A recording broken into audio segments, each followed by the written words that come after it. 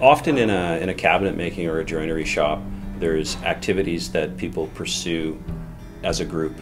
So you're not always building something individually. Sometimes you're working on a group project. And that's why we decided to do this as a group project was to, to get that level of interaction where the students are actually working together on something. And it changes the dynamics a bit and uh, it utilizes everyone's strengths. So what we did to start with after the students had worked out the design is we prototyped one and we made sure everything fit properly.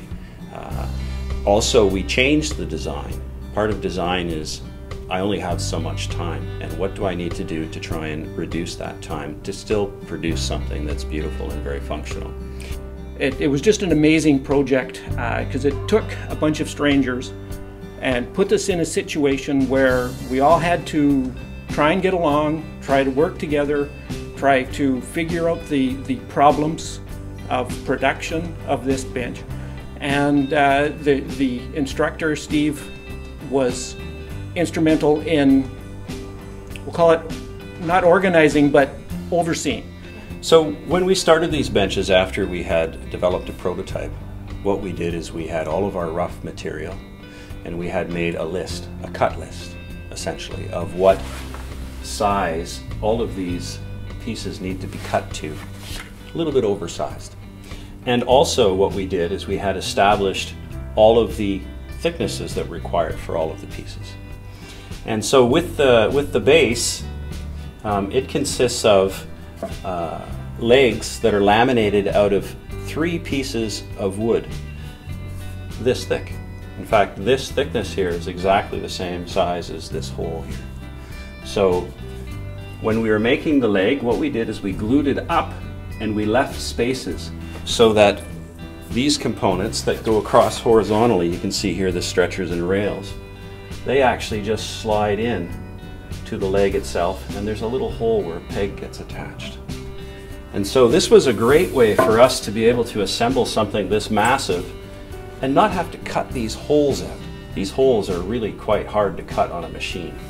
And so we did that process with the legs where we left the holes for the mortises and we also laminated the feet where we did the same thing.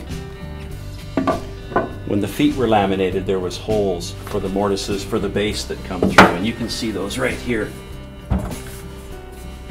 where they actually come right through the bottom. Very quick way to build, and a very strong way to build. You can plane on this bench, and it doesn't give an inch. And that's the important part. When you're using a hand plane, you've got to have something that's solid in order to run across. This is a great tool, and so much of what we do when we're woodworking is we need tools. And this is sort of the, the main platform for someone who works as a, as a joiner or a cabinet maker. These are really, really solid and, and robust benches, going to be around for a very long time.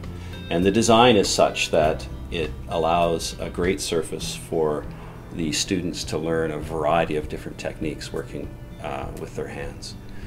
Teamwork. Teamwork was the biggest thing uh, teamwork for the crew, for the for the students, and the design of it. The everything had to come together to be aesthetically correct, to be, you know, you, you want to stand back and go, wow, and and I think we achieved it. I think it's a, it's a beautiful bench. Bench is really uh, an example of uh, very good design, designing, considering reducing the time it takes to make something, designing in consideration of the kinds of machinery that you have available to do it. And it's also very, very functional. I don't think you're going to find a bench out there that's as, as robust. And it is quite beautiful, actually. I think the students have done a remarkable job with creating this, this, uh, this project. And that's very similar to what we do here at North Island College, is we take and design from scratch and build using a wide variety of techniques and machines from hand up until industrial machines. And it's, uh, it's an opportunity uh, for us to, uh, to showcase our work by having this bench for you folks to see.